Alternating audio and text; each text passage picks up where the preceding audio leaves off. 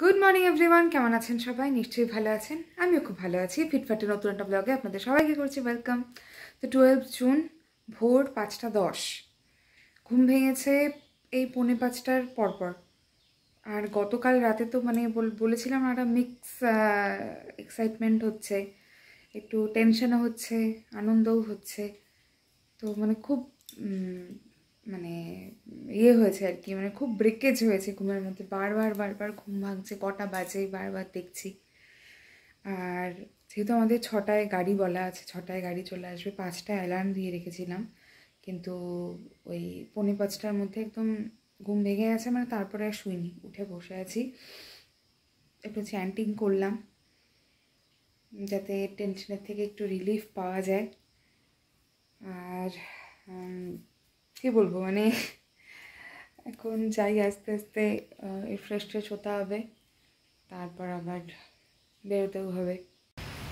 গতকাল থেকে আর বৃষ্টি থামাথামির কোনো নামই নিচ্ছে না, একদম মানে বৃষ্টি হয়েই চলেছে হয়েই চলেছে। ওয়েদার একদমই খারাপ, একদম খারাপ। রেডি হয়ে গেছি, ছটা দশ, এখন গাড়িও চলে এসছে, তো দুগ্গা দুগ্গা করে বেরোই সব কিছু যেন ঠিকঠাক মতো হয়। গাড়িতে উঠে গেছি আমি, আমার হাজব্যান্ড শ্বশুর মশাই, আমরা তিনজনেই যাচ্ছি। আর হোপফুলি ওদের সাথে নার্সিংহোমে গিয়ে একবারই দেখা হবে। গাড়ি থেকে নেমে গেলাম। আমাদের সাথে শুভঙ্কর দাও এসছে। তো এই এখন ঢুকছি নার্সিংহোমে এখন আমরা ওই ছোটোকে যে রুমে নেওয়া হয়েছে, তার বাইরে একটু ওয়েট করছি। ওর ইসিজি মানে ওই যে ডেলিভারির আগে যে প্রসেসগুলো থাকে, সেইগুলো হচ্ছে। এখানে বৌদি আছে, ওখান থেকে মাসি এখানে উঠবি বেবির বাবা, এখানে উঠবি বেবির মামা। এই যে আমাদের উঠবি মমি একদম রেডি হয়ে গেছে। একটু হাসো হাসো হাসো হাসো হাসো। হেসে হেসে যেতে হবে। হ্যাঁ এই তো। সবাই দেখে রাখল কিন্তু। হুম।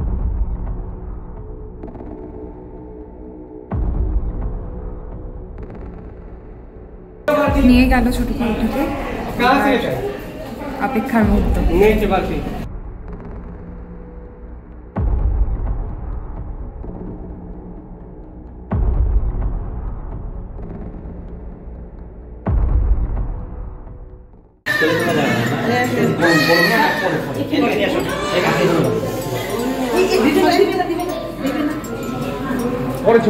কি কি? বলছিলাম না দেখেছ?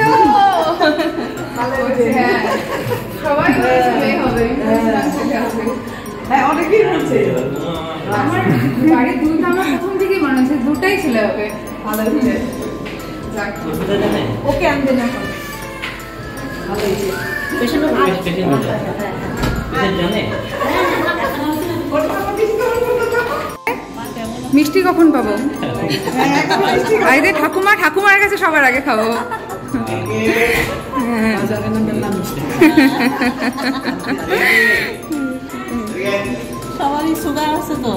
হ্যাঁ। আমি সিঙ্গারা খাব। মিষ্টি খাব হাসি মুখে দাদু আর এই যে ঠাকুরদা। যে কুচকুর সমস্ত জিনিসপত্র নিয়ে বাবা চলে এসছে। বলো, কেমন লাগছে কেমন? সেটা বলো। এখন আর টেনশন নেই তো? আচ্ছা যাও দিয়ে আসো।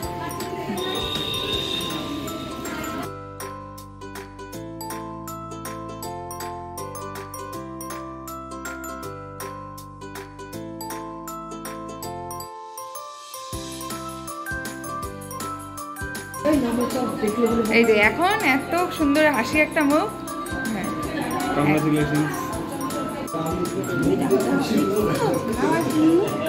বাবা খিদা পাচ্ছে। খিদু খিদু পেয়ে গেছে।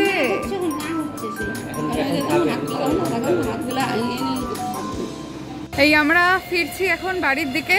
নার্সিং হোম থেকে এই জাস্ট বেরোলাম। সবার মুখে শান্তির হাসি সাথে আমরাও খুব খুশি। ভালো লাগছে। মানে একদম সুস্থ স্বাভাবিক হেলদি একটা পুচকু হয়েছে আমাদের। এখন এটার নাম ভাবিনি। দেখি বাড়িতে গিয়ে ভাবছি যে এই পুচকুর নাম কোন মিষ্টির নাম দেওয়া যায়। তাহলে আসছি আমরা। হ্যাঁ হ্যাঁ। আবার দেখা হচ্ছে বিকেল চারটায় আর ওখান থেকে বাড়িতে এসে পৌঁছলাম দুপুর একটায়। তো আমরা যখন এলাম তখন তো মারাত্মক বৃষ্টি হচ্ছে। মানে বাড়িতে যা সবে পা দিয়েছি আর একেবারে ঝমঝমিয়ে বৃষ্টি শুরু হয়ে গেল। তো বাড়িতে এসে স্নান টান করে খাওয়া দাওয়া করলাম লাঞ্চটা করলাম। মানে আজকে তো আর সকালে তেরম সেরকম কিছু খাওয়া হয়নি সেরকম কিছু বলতে কি, আমি তো একদম ওই সকালে যে বেরিয়েছি, কিচ্ছু খেয়ে যেতে পারিনি, কিচ্ছু না। মানে এক ফোঁটা জলও ঢুকছিল না আমার মানে এমন অবস্থা। টেনশনে এত গা মানে গুলোচ্ছিল, আমি আর কিচ্ছু খেতে পারিনি। এবার ওই বাড়িতে এসে একবারে লাঞ্চই করলাম আজকে।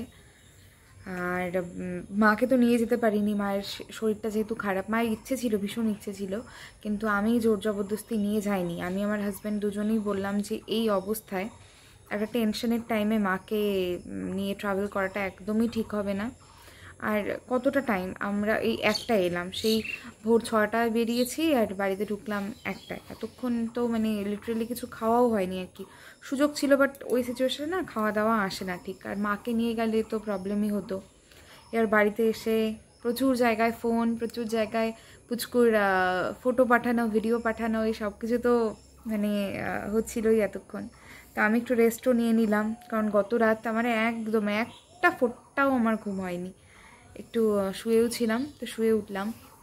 আর একটা ব্যাপার বলে রাখি, আমি এটা মানে যখন পুচকু হলো, পুচকুকে দেখাতে নিয়ে এলো, তখনও বলেছিলাম। সবাই বলেছিল যে মেয়ে হবে, কিন্তু কেন জানি আমার ইনটিউশন বলছিল ছেলেই হবে। ওই আমাদের চমচমের ব্যাপারটাও আমার তাই মনে হয়েছিল। এদের দুজনের ক্ষেত্রে আমার মনে হয়েছিল যে ছেলে হবে। সবাই বলছে, না, মেয়ে হবে মেয়ে হবে। তো আমার মনে হয়েছিল। তো যাই হোক আমি জিতে গেছি। আমি বলেছিলাম যেটা সেটাই হলো।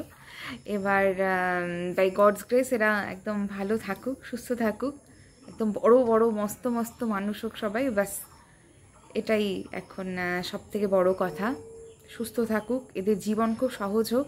আর আপনারাও প্রত্যেকে যারা এই ব্লগ দেখছেন বা যারা যাদের কানে অন্তত গেছে যে আমাদের বাড়িতে এই পুচকুরা এসে সবাই প্লিজ এদের আশীর্বাদ করবেন। ও, আর হ্যাঁ একটা ইম্পর্টেন্ট ব্যাপার যেটা আমি আস্তে আস্তেও বলেছিলাম যে পুচকুর নাম কি রাখা যায়। তো আমি এতক্ষণ অনেকটাই ভেবে ভেবেচিন্তে পুচকুর নাম রেখেছি রাজভোগ। মামি রেখেছে রাজভোগ, ঠিক আছে? এখনও মা বাবা কিন্তু জানে না। মামা মানে দুই মামা, গুড্ডু আর আমার হাজব্যান্ড এদের খুব পছন্দ হয়েছে না তো আপনাদের কেমন লাগল সেটা কিন্তু জানাতে ভুলবেন না, ঠিক আছে? তো রাজভোগের বার্থডে ব্লগ এই পর্যন্তই। দেখা হচ্ছে আবার নেক্সট ব্লগে ততক্ষণ সবাই খুব ভালো থাকবেন, সুস্থ থাকবেন, নিজেদের খেয়াল রাখবেন, ফিটফাটকে সাবস্ক্রাইব করবেন and most important be Fitfat.